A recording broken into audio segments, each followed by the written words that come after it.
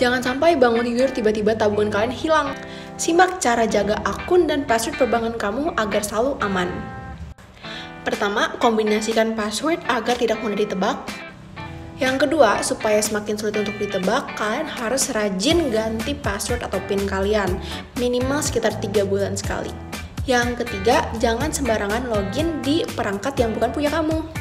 Dan yang terakhir, hindarin untuk buka aplikasi perbankan kamu saat kamu terkoneksi sama wifi yang public.